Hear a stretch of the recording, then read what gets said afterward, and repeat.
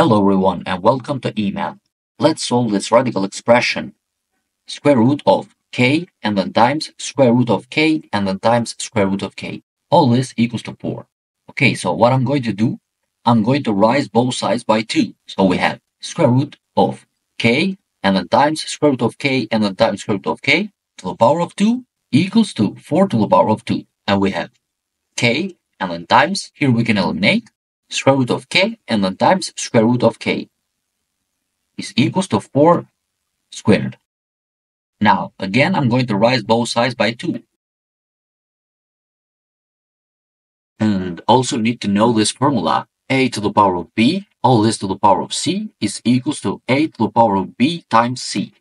Okay, so we have k squared and then times, let's eliminate here, what's left is k, and then times square root of k. All this equals to 4 to the power of 4. Again, I'm going to rise both sides by 2. So we have k to the power of 4, and then times k squared, and then times k. All this equals to 4 to the power of 8.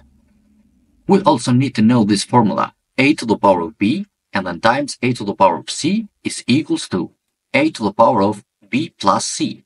So using this formula, we have k to the power of 4 plus 2 plus 1.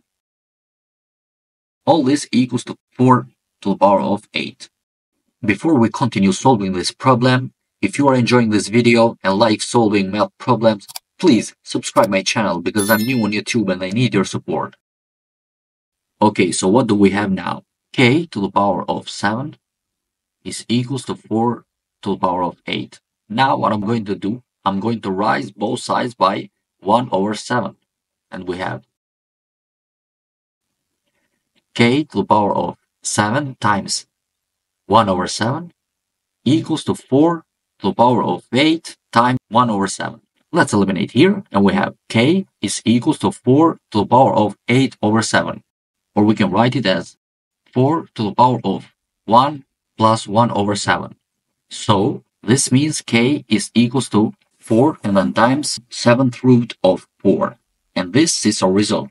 If you enjoyed solving this problem, please don't forget to like my video, ring the bell, and subscribe my channel because I'm new on YouTube.